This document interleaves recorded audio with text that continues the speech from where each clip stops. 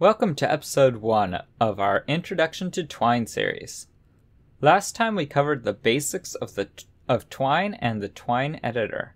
Today we are going to learn about story formats and how they allow us to customize our game. Let's get started. At Twine's core is the multiple story formats built around it. Think of Twine like an operating system and story formats as a shell. Twine gives you the platform to run your games, and story formats determine the features that will be available to you when you develop your games, as well as the interface that the players interact with. They are how you customize Twine. There are many story formats included with Twine, and many more that you can download yourself.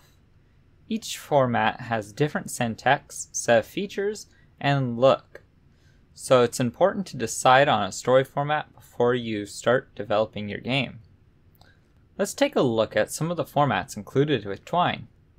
Click on your story's title and open up the menu. There you will see an option for change story format. We'll click on that and it will load all the story formats included in Twine. Now you will see that Harlowe is already selected. Harlowe is the default story format of Twine 2. It is a very simple story format that is ideal for writers who just want to make a game without knowing much, too much programming. Harlowe's focus at the core ideas of the Twine game engine. Text should be dynamic and engaging without requiring the author to understand complex HTML, CSS, or JavaScript. Harlowe is perfect if you want to use, if you use the Twine 2 editor, as it has a custom UI built in to support many of the features you'll use in Harlowe, such as variables and conditional statements, as you can see here. If we hit play test, you can see that Harlowe is the uh, format we were using before in our previous video. You can click on links and you'll see there's a sidebar to go back and forward. That's pretty much it. Harlowe's very simple. I'm not the most experienced with Harlowe, uh, but it is generally a great format if you need something simple but powerful. Let's check out Snowman next. Snowman is a very minimal uh, story format. It is more suited to experienced developers as you'll have to write most of your functionality for, of your game yourself in JavaScript. It has no built-in macros, but includes the underscore JS, marked, and jQuery JavaScript libraries. I don't know very much about it, but I'd not recommend it for your first Twine game unless you have some programming experience. When you click on a passage, you'll see that the toolbar has disappeared. This is because each story format has different syntax and way of doing things. The Twine editor only has built-in functions for Harlowe, you have to write your game's logic by hand when using other story formats.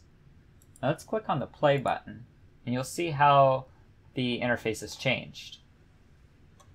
You'll see that we still have our choices, but they are lined up next to each other. You also see that there is no sidebar, and the default user interface is black text on white. If you want anything more complex, you're going to have to write it yourself. The last story format we'll cover is my favorite. Sugar Cube is the story format that we'll be using in this tutorial series. It's powerful with many features including an extensive macro system and a built-in saving system. It is simple to get up and running with, but has the ability to make complex games and is a great middle ground between Harlowe and Snowman you can modify almost anything in SugarCube with a little JavaScript. When we click on the play button, you'll see that it's very different from the other story formats. SugarCube has a prominent sidebar that includes an undo, redo, save, and restart button. This sidebar is extremely customizable and can be used to show players information like health, money, and time. You can change the uh, the color scheme for each story format with a little CSS, so don't let the color scheme determine what you use for your game. All these story formats are free and open source, so you can contribute and modify a story format to suit your needs. There are other story formats out there like chapter book, but I have no experience with them so we'll have to cover them in another video.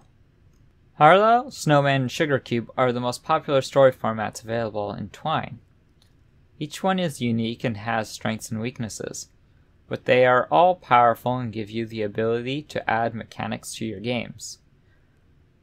I've included a link to each format's documentation in the description below to help you decide on the format that's right for your game. In our next video, we'll start using SugarCube to build a simple game using variables and conditional logic.